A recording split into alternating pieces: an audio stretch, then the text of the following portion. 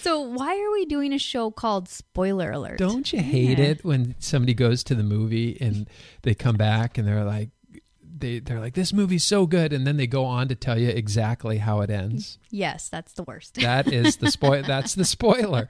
It's like, well, why would I go see it now? You just told me what the what it is. Um, and so uh, right now we're in the midst of drama. Everything gets more and more dramatic day by day, hour by hour. We have new alerts, new closures. Uh, the outlook is going from bad to worse. The stock market hates uncertainty. It it can handle bad news more than it can handle uncertainty. And if you think about it, the stock market is just a collection of people. And so it responds oftentimes the way that many of us do, which is when there's uncertainty about the future, um, it starts looking pretty unhealthy. It looks like it's caught a, a bug, the stock market has. And so as a result, we, we are experiencing extreme volatility. Uh, there's sleeplessness, there's worry, and we're making bad choices. Um, and I know how the movie is going to end. Well, don't leave us hanging, Jason. How will it end? now I want to know. Spoiler alert. Well, here's the thing I don't know the timeline. That's the piece that creates uncertainty. But what I do know is that things are going to recover. Um, and I do believe this the entire world has come to depend on goods and services that businesses build and create. And overnight, we're not just all of a sudden going to wake up one morning and stop eating food. Uh, we're not. Uh, women are not going to stop getting their hair and their nails done. I mean, my my wife was she was kind of uh, because the salon here locally is closed, and she's she's freaking out a little bit. She's like, she's like, this is not good. I mean, everything was fine until she couldn't get her hair cut. Now we now we got a problem. Um, but uh, yeah, the the world is going to recover from this. The economy is going to recover. Yeah, we just the the hard part is we don't know the time horizon on it. And so, but if we can use our imagination to look out into the future and to know how this thing is really going to end. Is there going to be some government invention intervention? Yeah, there is. Is uh, is there going to be a lot of volatility in the short term? Yes, there is. But one of my favorite quotes is despite our greatest efforts, things will continue to get better. And while there's a lot of uncertainty and a lot of unknowns right now, um, we can look back historically, Emilia. In fact, I found this really great piece by Guggenheim, and we'll include this in the show notes, but it talks about stock market volatility in particular. And uh, it's basically, uh, it talks about pullbacks and bounce backs. And so what it shows is that um, since 19, since December 31st, 1945, there have been um, 80 different times where the market has pulled back between 5 to 10%. There have been 29 occasions where it's fallen 10 to 20%. There have been 8 occasions where it's fallen 20 to 40%. And then there have been 3 times where it's fallen more than 40%. And the average time to recover in those different pullbacks or those different corrections or those different bear markets um, when the market dropped 20 to 40 percent decline, the average time to recovery in months was 15 months. Um, when the market declined more than 40 percent, that's happened three times since 1945. It was 58 months uh, was the amount of time to recovery. So, that being said, you know, I think it's easy, and we're all so good at using our imagination the wrong way. It's, we're also good at thinking of the absolute worst case scenario the, um, and trying to understand it from the worst case scenario. But if we started using our imagination for the best case scenario and saying, well, geez, well, how would that look if all of a sudden the best case happens? So let me give you a best case scenario. Let's say that um, next week, all of a sudden, one of the drug companies comes out and they have a vaccine, or even better, they have a cure for this coronavirus.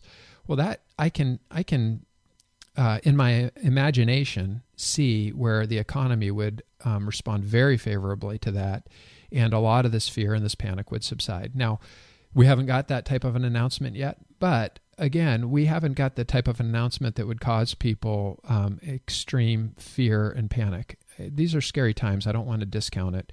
Uh, and we're all experiencing it. We're all in this together in terms of the fear.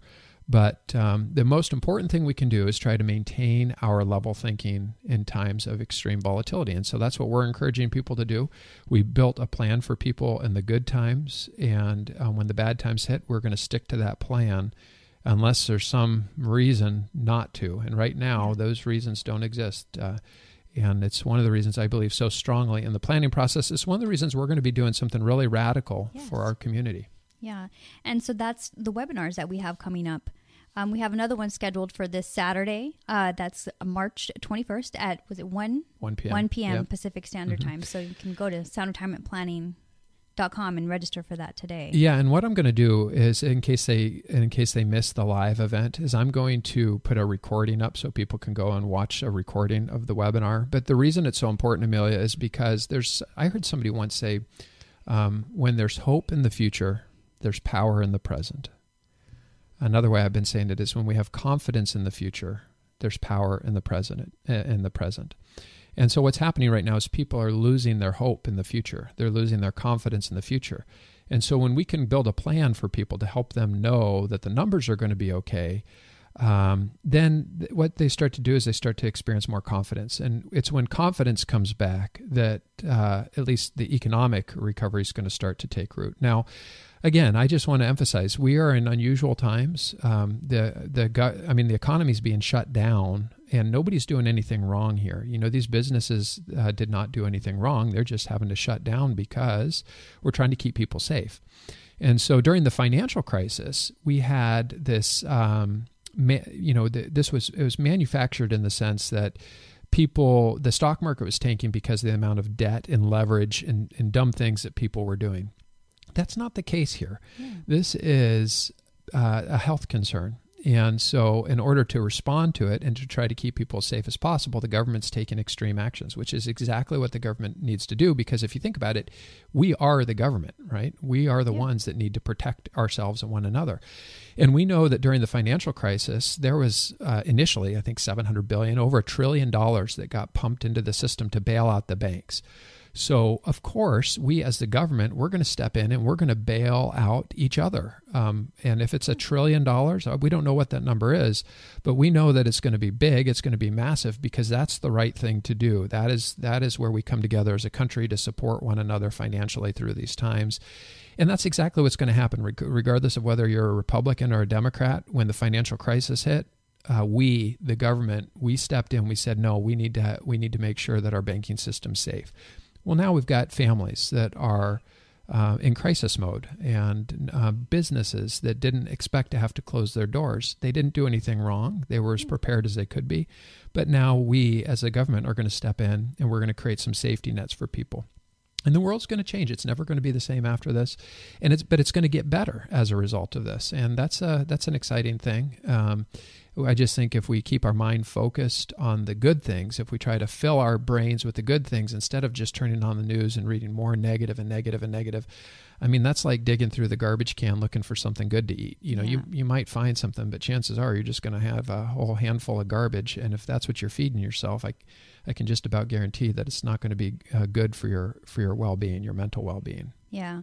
And Jason, this just reminds me of something you reminded me of just today is that we're all in this we're all going through this together. Yeah. Like as scared or as, you know, nervous as it might be for me or you, I think we're all dealing with this at the same time and I think that kind of brings the community together and I've seen a lot of people working together to try and get get through these things. So, Yeah, and you know it's unique because um, I think it's really easy to think, oh, how is this going to impact me individually, right? How's this going to affect my family? How's this going to affect the business? How's this going to affect the stock market? How's this going to affect my retirement? How's it going to affect the uh, the investments, the IRAs and the 401ks and the TSP and all these things.